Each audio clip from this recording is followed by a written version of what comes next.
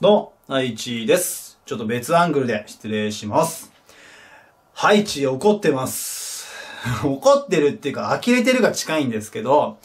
もうちょっと聞いてもらっていいですか？あのですね、自分の、あ、これでも知らない方もいると思うんですけど、自分、塾チャンネルっていう数字の19にアルファベットの CH で塾チャンネルっていうと、サイトをね、他の方に運営してもら、運用してもらってるんですけど、で、そこに、この自分の動画の再生リストがちょっと綺麗に分けられてたりとか、あとは、自分の動画って、ポチって再生した時に、こう、問題だけ、まあ、映ってる状態になってますよね。で、その状態がプリントアウトできるようになってるんですよ。で、まあ、それもちろん無料でね、登録とかなしにプリントアウトができるんですけど、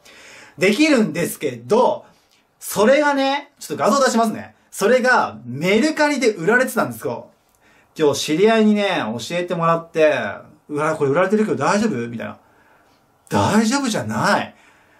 しかもさ、これ、よく見ると書き込んであるんだよね。書き込んであるのが300円。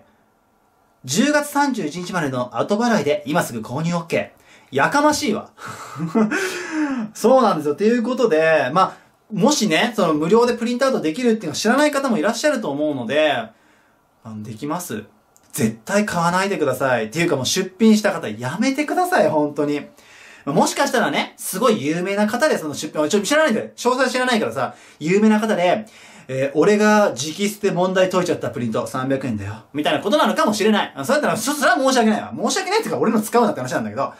まあまあまあ、ひとまずこういうのがあって、まあ今回初めて出てきたので、まあ他があるかもわからないですし、今後ね、まあそういうことがあるかどうかもわからないんですけど、ひとまず今回こういうね、事例がちょっとあったので、ぜひ、あの、皆さんちょっと、頭の片隅でも置いといてください。で、まあ、もし、ツイッターやってる方、自分のツイッター、ツイッターフォローしてもらわなくても構わないので、ちょっとひらがなハイチで検索してもらって、この動画のね、あの、ツイートしてますんで、ちょっとリツイートしていただけると助かります。あの、変にね、買っちゃったっていう人が出てきてからじゃ遅いので、ぜひぜひ協力の方よろしくお願いします。ということで、ちょっとね、あの、見て不快に思う方いたかもしれないですけど、あの、ご視聴いただきありがとうございました。